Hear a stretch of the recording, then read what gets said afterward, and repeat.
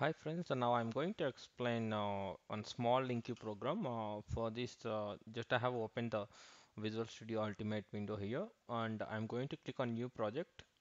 There you can able to see so many project templates like Visual Studio, other languages, uh, Visual Basic C++, Visual F Sharp like that. For our application, we have to see Visual Studio C Sharp. I'm going to explain in Visual Studio C Sharp, and I'm going to select the console application here, and uh, I'm going to write uh, some sample LINQ program.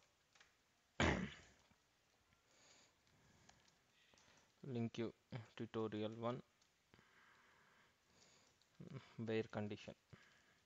I'm going to explain the restriction operation today uh, in this video. In the next videos, we will learn about uh, different kinds of operations.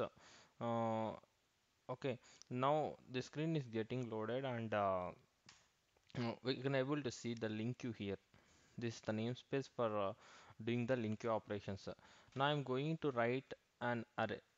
Okay, int values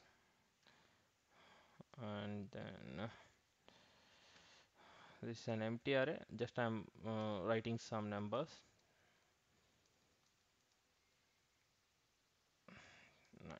okay uh, this is done and I wanted to uh, know uh, information like uh, more than 5 in this array I'm going to write a query for getting more than um, 5 means greater than 5 for that just I'm writing a var okay uh, queried values queried greater than uh, greater than mm, 5 okay is equal to is equal to from just like you write anything v uh, in values okay? And then you are going to write the select where statement here where v greater than 5 if you write like this you can get all the values uh, greater than 5 values into uh, queried uh, greater than 5 uh, variable okay? And I'm going to select the uh, select the V okay now uh, I'm I have to display the uh, things what we have read from the query.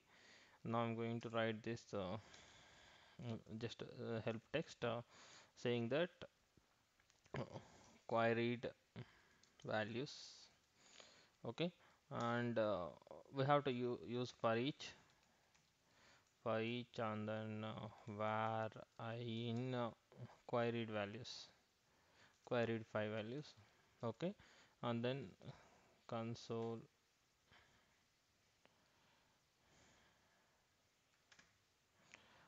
just I'm breaking the brackets here. And then uh, console dot write line of uh, i I'm displaying i okay? Just for uh, showing this uh, console dot read okay? Uh, now we have to execute the program here. Okay? Just I'm going to click on this start debugging. Okay?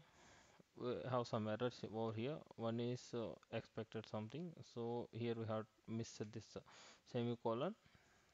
Just I'm going to click on start now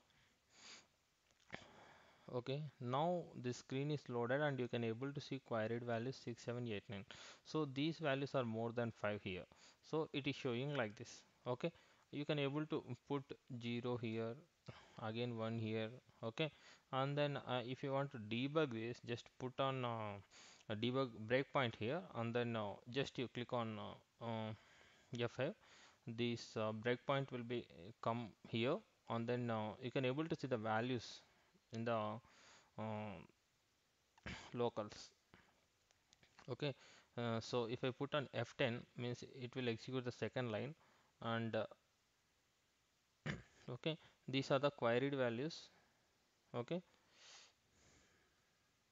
see these five values are the, uh, this 6 7 8 9 these four values are there in this uh, uh, queried values. Okay and then uh, f10 f10 f10 f10 f10 f10 what is the i now it should be 6 i value should be 6 okay next f10 f10 f10 f10 f10 f10 so now uh, the window is loaded uh, output window 6789 so like this we are going to write the where condition using LINQ uh, thanks for watching this video and uh, uh, please like this video share this video and uh, please give your valuable comments in the comment section uh, okay.